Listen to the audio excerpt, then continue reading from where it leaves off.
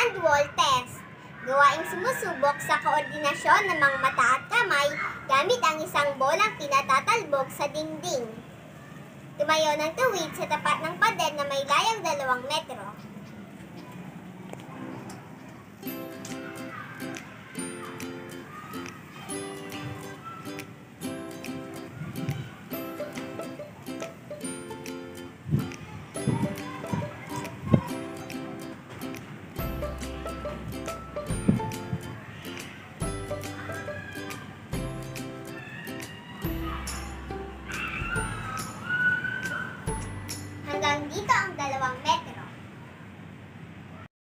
30 seconds na ibato ang bola gamit ang kaliwang kamay at kanang kamay ang pangsalo o kanang kamay ang pangbato at kaliwang kamay ang pangsalo.